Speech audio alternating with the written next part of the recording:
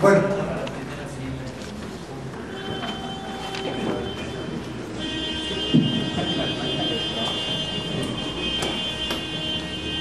Bueno, antes de empezar, este, permítanme decirles que yo estoy aquí para hablar de Francisco Villa, sin embargo, también debo decir que no fue premeditado en mi, en mi trabajo como investigador escoger el tema de Francisco Villa.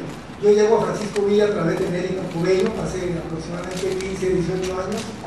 Eh, estamos trabajando intensamente en una biografía y leyendo a Nelly Campobello desde entonces empecé yo a aproximarme a Francisco Villa de tal manera que en los últimos 15 años he estado recopilando documentos, fotografías, testimonios, de tal manera que ahora pues ya se me ha convertido en un especialista en Francisco Villa Cerro, ¿verdad? Aquí el especialista Francisco Villa es Taibo y en la división del norte es Almerón.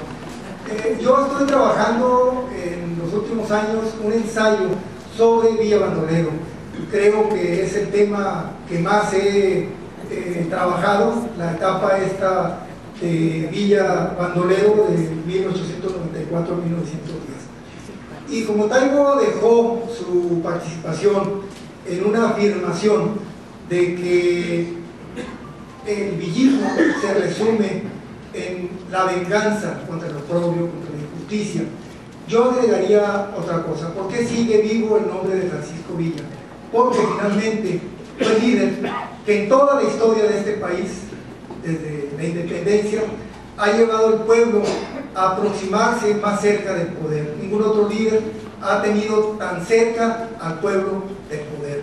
Esto lo reafirma Salmerón, cuando nos habla de las reformas que estableció en Chihuahua Francisco Villa y que fue propiamente la toma del poder. Por eso se le recuerda y con más fuerza en estos días en que el pueblo sufre un poder más ominioso, más ignominioso que el de Porfirio Díaz. Eh, si quisiéramos eh, dividir la biografía de Villa en forma sencilla, yo propondría tres etapas. Uno, la de el nacimiento de 1894, perdón, de 1878 a 1894. Los primeros 16 años en que Villa aprende a hacer las cosas que le van a servir fundamentalmente en toda su vida.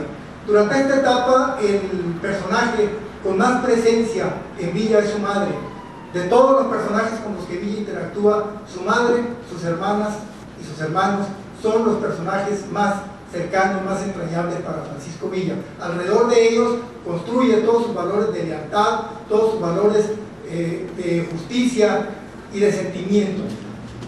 Posteriormente, de 1894 a 1910, otros 16 años, es la etapa del Villa Bandolero.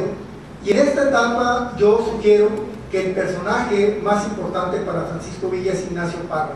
Ignacio Parra, el bandolero, prácticamente es el padre, el padre adoptivo de Francisco Villa. Es el hombre que le enseña a relacionarse con los demás bandoleros, es el hombre que le enseña las tácticas para los asaltos, es el hombre que le da valores y que le enseña cómo debe de establecer los conceptos que tiene de lealtad y de deslealtad hacia los demás. Y la última etapa de, 1910 a 1923, 13 años, la presencia más importante en Villa es el pueblo.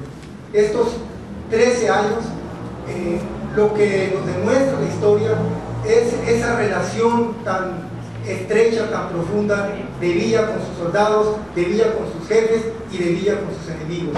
Estos 13 años son los años del aprendizaje, son los años del, estarse reconstruyendo a cada momento en función a lo que le está, eh, se le está atravesando en la vida a través de la interacción con personajes de los cuales aprende lo mejor que tienen para los usos que le corresponden como jefe revolucionario.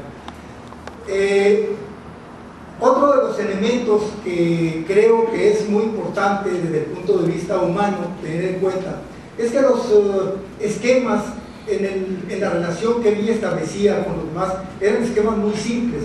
Tenemos que entenderlo porque si no, no entendemos eh, cómo se convierte o cómo actúa como líder. Villa tenía básicamente dos principios que aplicaba de manera permanente eh, en favor la lealtad y la valentía. Villa eh, entre sus compañeros, entre, las, eh, entre los revolucionarios con los que actuaba, lo que más valoraba era esos dos elementos, lealtad y valentía. Y en, y en contrario, lo que más detestaba era la traición y la cobardía. Estos cuatro elementos los tenemos que entender porque de otra manera no entendemos el por qué actúa de manera que nos parece terrible en algunas circunstancias. Y el otro elemento que es muy importante considerar a la hora de hablar de Villa como protagonista de la historia es dos cualidades que tiene y que están eh, permanentemente actuando en su participación tanto como bandolero como revolucionario. Eh, una memoria privilegiada, una memoria que a decir de muchos eh, era tal que se podía aprender el nombre de una persona con solo escuchar una ocasión o, o, registrar el rostro de una persona que volvía a ver en un año, en dos años, en tres años y no la había olvidado y sorprendía eh, frecuentemente a sus compañeros, a las personas con las que actuaba por eso. Y la otra gran capacidad, eh, la otra gran cualidad que tenía Villa era una inteligencia inaudita para estar sistematizando todo lo que iba recibiendo de quienes lo rodeaban.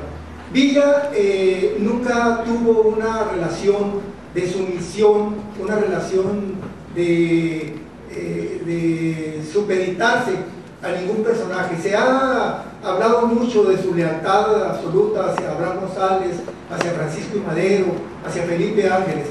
Eh, en realidad establecía relaciones que aprovechaba hasta donde era necesario precisamente para aplicarlas.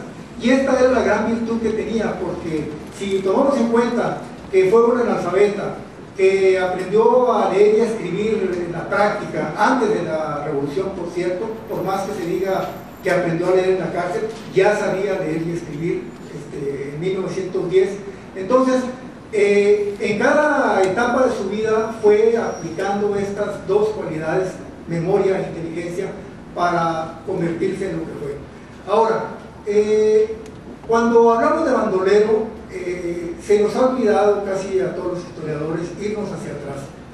Eh, Villa tuvo en sus antecedentes como bandolero la relación, el vínculo que ya les marcaba yo con Ignacio Parra. Ignacio Parra fue un bandolero duranguense, prácticamente cuando Villa sale de su pueblo en 1894, los 16 años, por la causa que, haya sido. Este, algunos dicen que porque vio al hijo de un hacendado o al propio hacendado.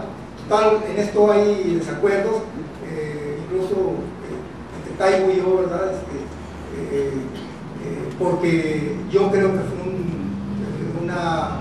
un invento de Villa, porque de esa manera quiso limpiar su pasado adjudicando la causa de su salida del pueblo por la supuesta violación alemana. Bueno, a partir de ese momento eh, tiene la buena decisión de unirse a una de las bandas que incursionaban en Durango, de las tantas que había, y esta era la comandada por Ignacio Parra. Pero ¿quién era Ignacio Parra? Ignacio Parra era miembro de una familia de varios hermanos que años anteriores se habían sumado a la banda de Heraclio Bernal. Eh, ¿Y quién era, quién era Heraclio Bernal? Heraclio Bernal era hijo de un juarista que había luchado contra Porfirio Díaz desde 1871-72, cuando Porfirio Díaz combatió a Juárez. Y este juarista, el padre de Heraclio Bernal, unió a todos sus hijos, les transmitió el fervor por Benito Juárez y después de que Porfirio Díaz se convierte en presidente desplazando a Lerdo de Tejada, los Bernal se distinguen en Sinaloa, en su pueblo, como enemigos de Porfirio Díaz. De tal manera que Heraclio Bernal se convierte en bandolero, pero es un bandolero político, es un bandolero que hace intentos en muchas ocasiones por armar movimientos eh, revolucionarios contra Porfirio Díaz, se liga con otros revolucionarios y es este personaje, Heraclio Bernal, con el que se suma Ignacio Parra en su juventud y posteriormente, después de la muerte de Heraclio Bernal, Ignacio Parra forma sus propias bandas. Y la relación entre Villa e Ignacio Parra no se concreta nada más a la banda, sino que la relación de Villa con los Parra sigue permanente y todavía en 1913 muere Matías Parra, eh, hermano de Ignacio Parra, combatiendo junto con Villa durante la revolución. Entonces, eh, el, bandolerismo de Villa es un bandolerismo que trae raíces sociales, que trae raíces políticas, no es un bandolero común y corriente, es un bandolero que aprende de todo, ya lo dijo Taibo también, aprende a valerse de la naturaleza, aprende a, resistir eh, los caminos, aprende a conocer eh, veredas, cuevas, atajos en tres estados fundamentalmente, Sinaloa, Durango y Chihuahua. Y cuando la revolución eh, empieza, todo esto que formó parte de su práctica durante 16 años como bandolero, lo aplica a la revolución y no solamente los conocimientos del medio, sino fundamentalmente los conocimientos con eh, eh, sus compañeros, o sea, la relación con el pueblo. Esta fue la escuela que tuvo Villa y por eso llegó a ser tan grande. Ahí lo dejo yo y seguimos con la